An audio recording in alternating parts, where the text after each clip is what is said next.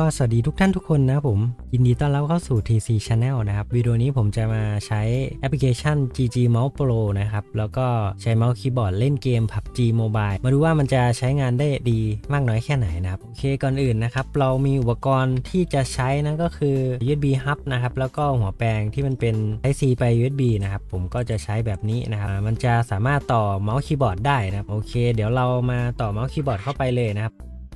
พยายามจัดสายให้มันอยู่ในลักษณะที่ไม่บิดนะครับ ว่าเดี๋ยวพอเวลามันบิดแล้วนะครับ ตัวจอมันจะชอบหลุดนะครับพอเราต่อเมาส์คีย์บอร์ดเข้าไปแล้วนะครับ เราก็จะได้ cursor เมาส์ขึ้นมาอย่างในหน้าจอนะครับ จากนั้นแอปพลิเคชันที่เราจะใช้ก็คือ GG Mouse Pro นะครับก็กดเข้าไปในลักษณะแนวนอนแบบนี้นะครับ ให้เราจับตั้งก่อนนะครับ วิธีการในส่วนของการ add เกมเข้าไปนะครับก็คือกดเครื่องหมายบวกตรงนี้นะครับผมกดเข้าไปได้เลยนะครับเมื่อเรากดเครื่องหมายบวกเสร็จแล้วเราก็สามารถเพิ่มเกมเข้ามานะครับแล้วก็ทำการกดเข้าเกมไปเลยนะครับ พอเรากดเข้าเกมมาแล้วนะครับ เราก็จะได้ cursor เมาส์แบบนี้นะครับ รอเกมโหลด เดี๋ยวผมจะเข้าไปที่สนามซ้อมนะครับ โอเค พอเราเข้ามาตรงนี้นะครับ กดที่ไอคอนขึ้นมานะครับ ไปที่ปรับปุ่มนะครับ เสร็จแล้วก็จะมีในส่วนของปุ่มที่แสดงขึ้นมา ซึ่งทางของระบบเซตปุ่มให้เกม PUBG ด้วยนะครับ มันก็เลยมีแบบค่า standard ขึ้นมาให้แบบนี้นะครับ เราสามารถลากวางให้ตรงปุ่มได้เลยนะผม เสร็จแล้วให้เรากดบันทึกนะครับ ก็ลองคลิกเมาส์นะครับ คลิกลูกกลิ้งตรงกลางลงนะครับ แบบนี้เราก็จะได้มุมมองมา โอเคครับ เดี๋ยวเราลองวิ่งดูฮะ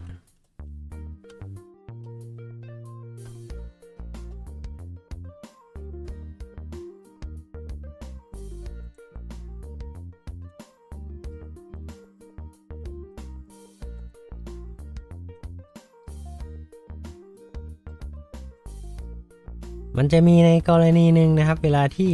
เรากดใช้เมาส์นะครับ หรือกดให้ cursor เมาส์ขึ้นมานะครับ ลองกดดูครับ กดลูกกลิ้งตรงกลางลงไปนะครับแบบนี้ แล้วกดกลับมานะครับ บางทีนะ บางทีปุ่มบังคับทิศทางมันจะกลายเป็นเมาส์บังคับทิศทางแทนนะครับอ่าถ้าเกิดแบบในกรณีนี้เกิดขึ้นนะครับ ให้เรากดคลิกเมาส์2ครั้งนะครับ หรือคลิกเมาส์อีกทีหนึ่งนะ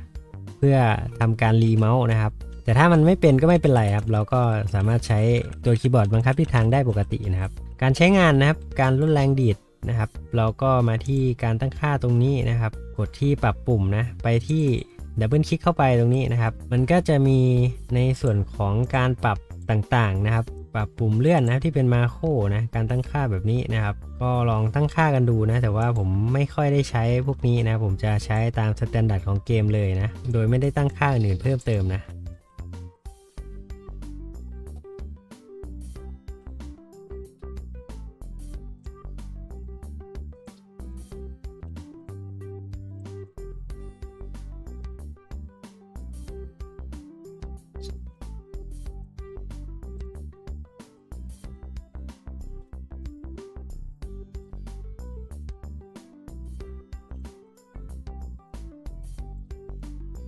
โอเคนะผมในส่วนของ PUBG Mobile ก็ประมาณนี้นะผมมีหลายคนที่สอบถามกันเข้ามาว่าใช้งานได้หรือเปล่านะครับ ก็นะครับว่าใช้งานได้นะครับ ใช้งานได้แล้วก็มันอยู่ที่ความถนัดของเราด้วยนะครับ ว่าเราต้องการใช้งานแบบไหนนะครับ สามารถตั้งปุ่มได้เลยนะเนี่ยครับเวลาที่เราใช้งานไปนะครับ มันจะหลอนแบบนี้เห็นไหมนะครับ มันจะขึ้นเป็นเมาส์นะครับบังคับทิศทางแทนเห็นไหมครับและที่เรารีนะเวลาที่เรารีให้เรากด คลิกที่ cursor เมาส์นะครับเอ้ให้เราคลิกให้เรากดคลิกที่ลูกกลิ้งนะครับเพื่อให้ cursor เมาส์มันขึ้นมาก่อนนะแบบนี้จากนั้นก็จากนั้นก็ re นะครับจากนั้นคลิกบ่อยๆนะครับคลิกซ้ำๆบ่อยๆนะครับให้มัน re นะครับมันจะมีอยู่แค่ตรงนี้นะครับที่เป็นจุดที่เราอ่าต้องแก้ไข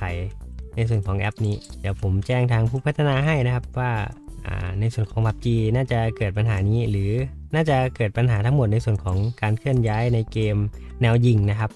เดี๋ยวมาลองดูกันว่าอัปเดตหน้าจะยังเป็นเหมือนเดิมไหมนะครับ ก็สำหรับอัปเดตนี้ก็น่าจะมีตรงนี้นะครับ ที่ผมคิดว่ามันอาจจะเป็นปัญหานะ เพราะว่าเราอาจจะไม่ได้แบบกดเมาส์บ่อยๆนะครับบางทีวิ่งวิ่งไปแล้วอยู่ดีก็ตัดมาใช้เมาส์นะครับ ในการบังคับที่ทางเฉยเลยนะครับ อันนี้ก็เสียอาการเหมือนกันนะในส่วนของคนที่กำลังเล่นแบบซีเรียสอยู่นะครับถ้าคนที่ไม่ซีเรียสก็ไม่เป็นไรครับ ก็สามารถใช้งานได้เรื่อยๆนะครับ ปกติเลยนะครับ โอเคก็ประมาณนี้ครับผมขอบคุณทุกท่านทุกคนที่เข้ามารับชมนะครับ ก็สำหรับวิดีโอนี้เดี๋ยวผมต้องขออนุญาตลาไปก่อนแล้วนะครับผมหากมีคำพูดใดที่อาจจะฟังไม่เข้าหูนะครับมีภาพที่ดูไม่เข้าตาต้องขอโทษขออภัยมาหน้าที่นี้ด้วย อย่าลืมนะฝากกดไลค์กดแชร์กดติดตามให้ด้วยสำหรับวิดีโอนี้ลาไปแล้วนะครับ สวัสดีครับ